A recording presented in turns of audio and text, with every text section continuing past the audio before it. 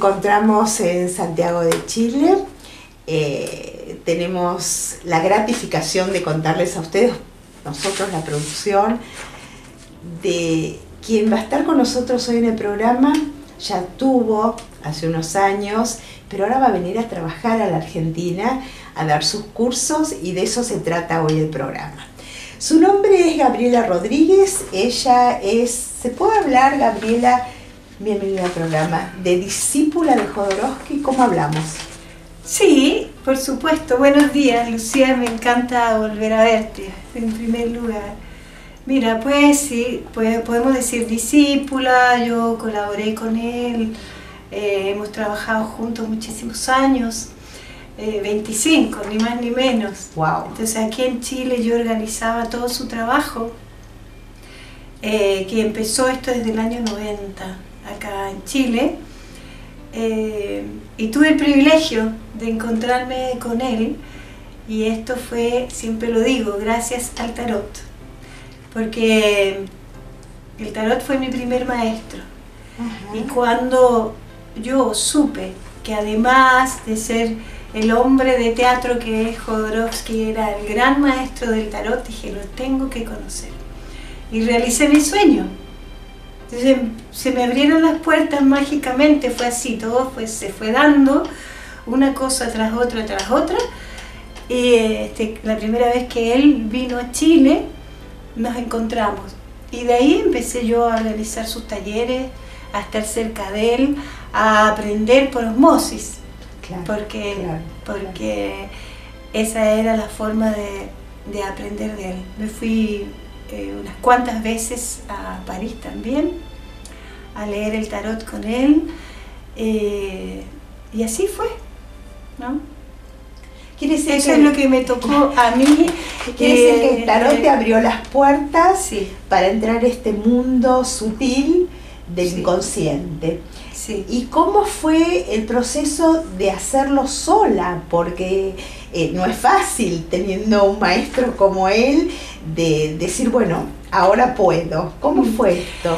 Es que me hace recordar algo, mira, yo, mi mamá siempre decía que, que yo era de este tamaño y siempre que ella quería ayudarme le decía yo sola, yo hago las cosas sola y lo cual no lo estoy contando como gracia precisamente porque tiene un lado B también, pero eh, está conmigo eso.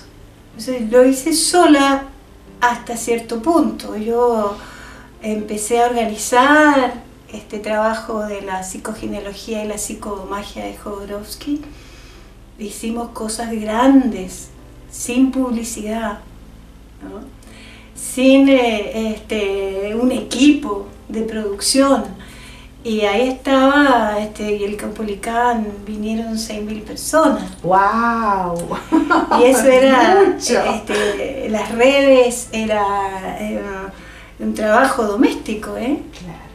Bueno, pero la idea era que se expandiera este conocimiento y ese fue mi propósito también. ¿Qué es la psicomagia? Contanos. Bueno, la psicomagia la creó Jodorowsky, que es un artista y que viene del teatro. Y entonces la psicomagia es una terapia artística, ¿ves? Artística porque la parte creativa, que viene después que uno hace el análisis del árbol familiar, que es una lectura metafórica, simbólica, de, de los datos duros del árbol bueno, una vez que tienes eh, como algo del hueso de la situación que está generando un conflicto, hay que crear un acto. Esa es la parte creativa de la psicomagia, esa es la parte donde uno tiene que estar muy conectado con el otro y darse cuenta que necesita ese ser para mejorar, para evolucionar, para salir de la trampa, la trampa del árbol familiar para este, acercarse más a sí mismo. Ahora, ¿qué es lo que acabas de decir? Salir de la trampa. Quiere decir que estas trampas que nos ponemos nosotros para poder... Que las pone la familia. Ah, exacto. Para poder eh, superar en esta vida lo que nos cuestionamos y no tenemos respuesta, de repente encontramos, gracias a la psicomagia, que esto no es nuestro, que esto tiene que ver con nuestros ancestros, cuarta, quinta, sexta generación.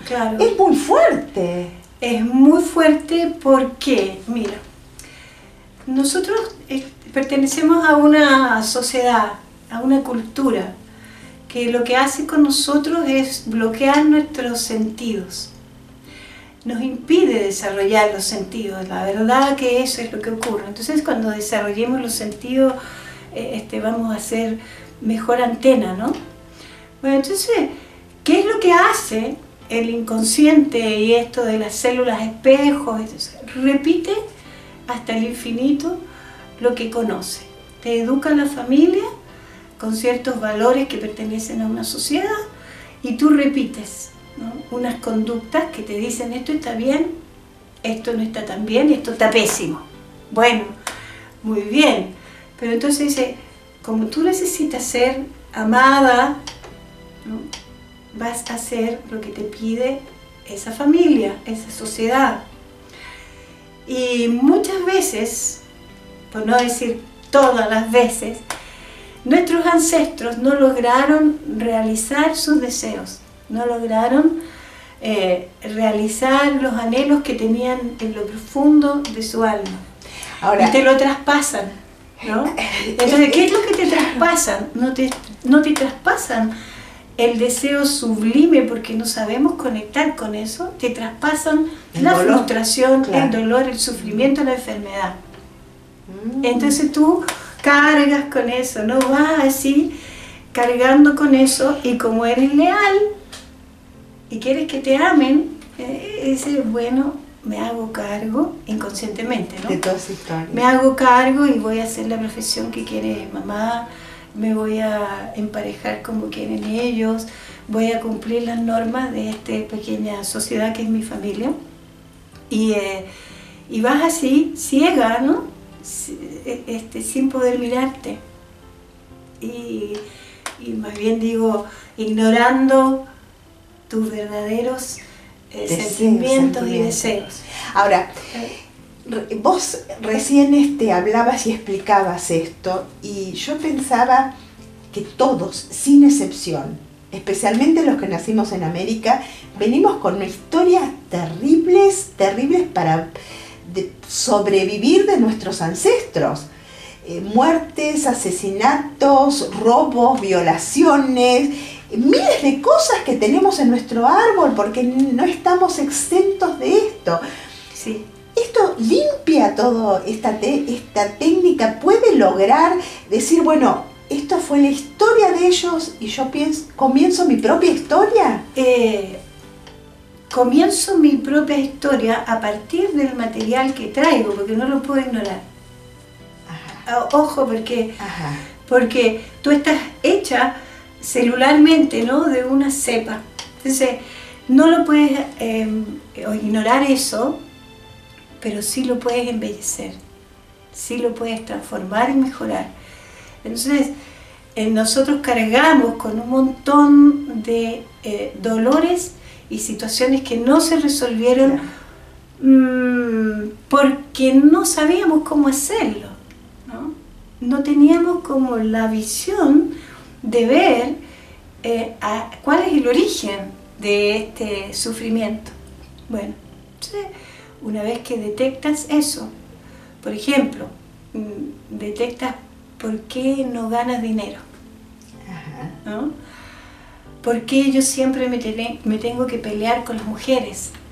Entonces, vamos a ir a la familia y vamos a ver qué dinero maneja tu familia, cuáles son las historias que tuvieron, por ejemplo, esos inmigrantes, ¿no? que son eh, tus bisabuelos, incluso tus tatarabuelos, cuando llegaron a este país y tuvieron que hacer un montón de sacrificios. Y luego tú no tienes idea de esas historias porque nadie te las cuenta. Las partes ni sabes ni dónde eh, nacieron. Las partes difíciles no se, no se exponen socialmente. Entonces, eh, de repente te conectas con esa generación anterior y bueno, y como se ha trasladado a través de, tu sangre, esa historia y tú no la conoces, se activa, ¿no? En este momento se activa porque hay algo que resuena con ese, con ese personaje, un personaje de tu alma. Bueno, entonces este, se activa y tú estás teniendo un problema que refleja aquella historia anterior. Eh, digamos que estás como mm, actuando a alguien que sí vivió una experiencia. A ti no te correspondería eso. Como no eres capaz de darte cuenta, entonces simplemente entras ahí y actúas automáticamente, inconscientemente, esos antiguos eh, traumas.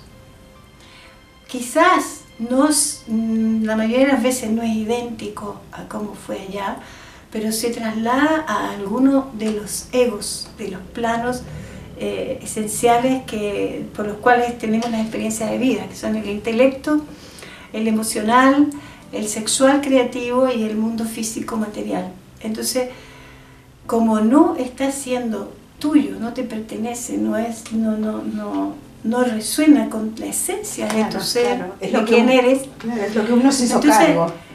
Eh, vas a tener una confusión mental primer grado de eso, unos enredos en la cabeza, este, locura, ¿por qué no?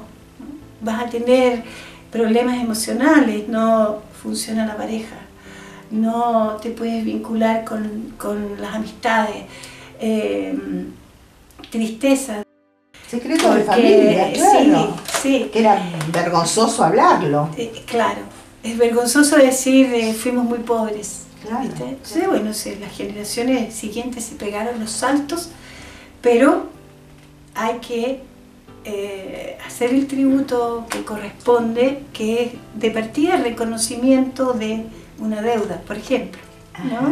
Entonces, eh, esto te puede afectar, porque el otro día yo hablaba con una chica y me dice, pero ¿cómo el dinero que a mi papá le costó tanto, le costó tanto educarnos, eh, se sacrificó tanto. Entonces dije, tú viste que esa, eso que hizo tu papá fue un sacrificio. Cuando tú superas el sacrificio, el sacrificio cuando a ti te va bien, eres profesional y te va bien, trasladas el sacrificio hacia otra esfera, en este caso emocional. Y me estás diciendo que estás sola, que desaparecen los hombres de tu vida y que yo sé, es como hay una parte que no ha adoptado, encarnado en la memoria del cuerpo, diría yo, que no ha adoptado todavía el beneficio en lugar del sacrificio. Ahora, se le vamos a dar ese beneficio. La primera etapa, y esto vamos a hablar ya un poquito de los talleres que vas a venir a hacer en la Argentina, y que tengo que decirte, estoy feliz, feliz, feliz. Yo también. Realmente de que podamos realmente los argentinos conocer esto desde otro lugar porque lo sé desde mi propia experiencia que hay miembros de la familia que se hacen cargo de historias terribles familiares y que traen problemas físicos o que nacen con problemas físicos. Entonces, como esto para mí, como abuela de ocho nietos, yo esto lo quiero cortar yo personalmente, te pregunto, estas técnicas que nos vas, a, nos vas a enseñar, porque voy a participar contigo, por supuesto voy a estar ahí en la primera fila, eh, es darnos cuenta, tomar conciencia de esta historia, rendirle pleitesía, homenaje, agradecimiento y después eh, qué? Mira. ¿Cómo son los pasos? darnos cuenta. Sí. ¿no? Yo lo que hago es facilitar a, a los otros a que veamos relativamente pronto desde dónde viene el problema que tú tienes. Nos damos cuenta eh, y luego, si es que hay que reparar algo en el pasado, lo vamos a hacer y luego vamos a hacer eh, con una visión hacia el futuro, hacia la mejoría, ¿no? hacia la sanación, vamos a reparar al ancestro, pero vamos a reparar la situación en ti. Porque tú eres tu ancestro. ¿no? Y tú acarreas ese pasado, pero también estás viendo el futuro. Esto es un circuito. Entonces, las dimensiones del tiempo conviven Entonces, estás ahí. ¿Qué ocurrió? Digo, yo digo esto, ¿no? Tú eres el mejor actor elegido para encarnar ese problema. Entonces, ahora vamos a cambiar el personaje y lo vamos a, vamos a transformar este personaje en alguien que sí se realizó. Entonces, ¿cómo hacemos eso? A veces, a veces son actos que tienen dificultad y, son intensos y es bueno que así sea porque, porque te has vivido 40, 50 años en la frustración. Entonces, estar cuatro días o 40 días trabajando con, un tema es poco en relación a... ¿Y cómo funciona el grupo? En este tipo? Porque me parece que es muy rico, ¿no? El hecho a mí me interesa particularmente el, el, grupo, porque el grupo potencia la sanación. Eh, ¿Ves que los pueblos originarios, las tribus, ellos tienen eh, tan incorporado el colectivo, el grupo, la totalidad. Eso que nosotros hicimos parciales, parcialidades, fragmentos de todo, ¿no? Por eso es una cosa que hace el intelecto. Entonces, eh, ellos lo, lo conocen bien. Entonces, cuando trabajamos en grupo, el grupo potencia y, enaltece, es decir, con una finalidad de sanar a un individuo, pero como somos espejos de los problemas del otro y estamos conectados todos en ese grupo y en la sociedad también, eh, el grupo actúa como una mini sociedad.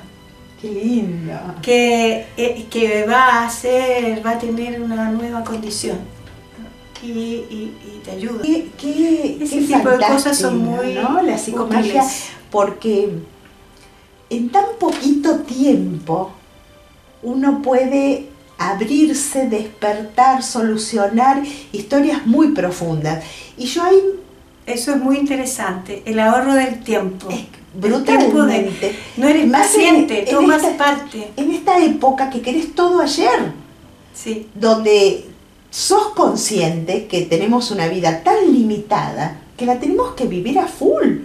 Si no, no podemos dejar lo que queremos dejar para nuestros hijos y para nuestros nietos o para la sociedad. Eh, Porque no hay tiempos. El tiempo no existe. Entonces, si no trabajamos el aquí y el ahora y borramos toda esta historia brutal que todos tenemos, sin excepción, es comenzar a hacernos cargo nosotros de nuestra propia historia. Ay, qué feliz que estoy realmente, Gabriela, que vengas a hacer este curso. Me encanta. Nuestra cultura, esta sociedad nos educa para dejarnos en la infancia. Tenemos una moral infantil. Y entonces el niño que hace pide, ayúdame, ayúdame, dime lo que tengo que hacer. Y cuando alguien se lo dice y no tiene verdadera conciencia, entonces le, este, quizás lo va a dormir más. No lo va a sacar hacia la sanación, sino que lo va a dejar acomodado en una situación mm, que generalmente está predicha. Entonces cuando la eficiencia del acto psicomágico, psicomágico es que tú tomas en tus manitos una responsabilidad y te haces cargo. Dice, bueno, yo tengo que hacer esto para sanarme. Yo no se lo doy concluido, a menos que estemos en un taller y que sea el grupo entero que colabora. Entonces, tú haces una, una tareita, un ejercicio, un, un acto, una acción, que es metáfora para sanarte. Cuando la haces, es tu decisión Claro. yo no te digo tomes esta píldora por 20 años todos los días. Este, te digo, y como te resuena eh, el origen, entonces eso empieza a movilizarte en el interés de hacerlo. Y hay personas que se demoran tiempo en hacer los actos. A mí me dicen, bueno, me demoré un año y ahí me escriben, ¿no? Mira, ahora me doy cuenta de qué se trataba. Entonces yo siempre digo, mm, no me preguntes tanto, haz el acto. Probalo, claro. Porque es la experiencia. Gabriela, Eso es lo que hace eh, eficiente. yo te súper agradezco realmente este momentito, sé que estás escribiendo tu libro, eh, vamos a seguir haciéndote notas, por supuesto, en futuro, pero lo que sí es mi obligación decirte que todo esto que aprendiste gracias a tu gran maestro eh, y nos estás dando a nosotros es un regalo y hay que aprovecharlo. Porque si nosotros queremos una sociedad distinta, la sociedad está dentro nuestro. Si no trabajamos nosotros, no podemos enseñar desde nuestro comportamiento a nuestro grupo familiar, a la sociedad entera. Entonces, vos fíjate qué grande que es esto. Qué, qué fuerte, qué importante que es, ¿no? El hecho de poder darnos cuenta de que existe y que tenemos el poder nosotros. Y es interesante que tiene que pasar por ti, o sea, eh, tener la experiencia. ¿no? Uno tiene que hacer un trabajo con uno mismo, ciertamente. Eh, a partir de esa experiencia transmites lo que sabes. Claro. Y, y el maestro está para adelantarte, eh, apoyarte eh, cuando hay que apoyar y para empujarte al abismo también. claro. Eh, este, me pasó muchas veces eso con Jodorowsky y se lo agradezco. Eh, este, y te ahorra tiempo, ¿ves? Como nosotros ahorramos tiempo a las generaciones nuevas. Nuevas, claro, claro. Y te ahorra tiempo, pero esto tiene que pasar por ti, tiene que ser un- un- una experiencia auténtica Vivencial. que tú la vives. Entonces, yo lo hago, este trabajo, porque a mí me ha sido muy, Muy útil. Eh, quiero compartir eso con otros y porque realmente me apasiona esta situación de, de- crear algo en conjunto, ¿no? Con el grupo, digo, que estoy trabajando cuando estoy trabajando. Eh, porque se llama psicomagia y nos interesa la palabra magia, ¿no? Pero la magia para mí eh, tiene que ver con el tejido natural de, cualquier organismo ¿no? que se nos olvidó. Nos hicieron olvidar esa estructura originaria. Vamos a volver a rescatar eso porque ahí está la energía vital. ¿no? Entonces, tenemos códigos, dogmas, una moral religiosa, una sociedad que se establece en relación a esos códigos y mira cómo estamos. Entonces, eh, por eso no hay que ver las noticias. ¿no? Es verdad, No, es no, verdad. no, es tóxico eso. Bueno, entonces en, ese, en esa jungla de la, de la civilización nos hemos ido perdiendo. Claro. Gabriela, te quiero agradecer el Muchas hecho de que a vengas ti, a, la Argentina. a. Eh, me encantó escucharte realmente y a nosotros nos queda simplemente pensar un poco y hacernos responsables, porque esto es muy gratificante para uno, pero cuando uno cambia, cambiamos el mundo. Gracias. A ti, gracias.